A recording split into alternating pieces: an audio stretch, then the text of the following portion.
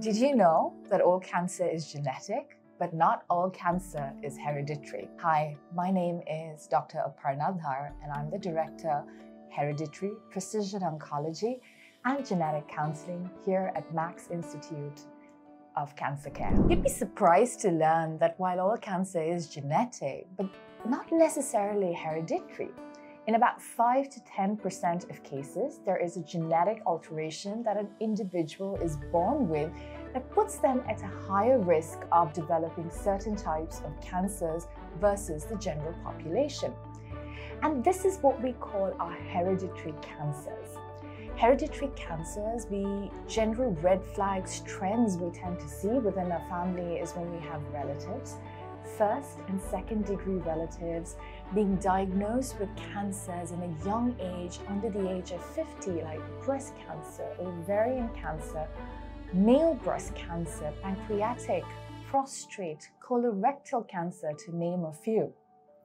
Now, we have identified that in certain genes, when there is a change in them, a mutation, a disease causing mutation in these genes, it puts a person at an increased risk of cancer. Often, a genetic test can tell whether a patient or, or a family is at a certain risk of cancer or at a higher risk of cancer, and these genetic tests help identify those. Often, there are various steps that can be taken to reduce or detect these cancers in early stage. The Hereditary Cancer Clinic at the Max Institute of Cancer Care in particular is designed to help identify people at increased risk of cancer due to hereditary factors and to help them understand their level of risk. Some of the key aspects of this clinic are 1 education and counseling about cancer risk, cancer risk reduction, effective screening programs, and preventive options. Two, clinical genetic testing is available, but only in cases where it's deemed fit and beneficial to the patient.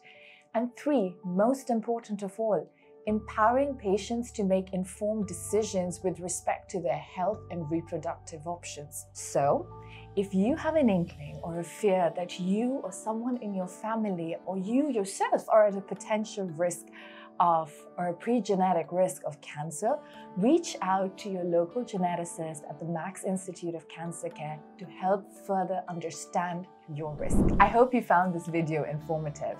If you have any questions or queries, please feel free to drop them in the comment box below. Thank you. Subscribe to our YouTube channel and press the bell icon to get the latest healthcare updates.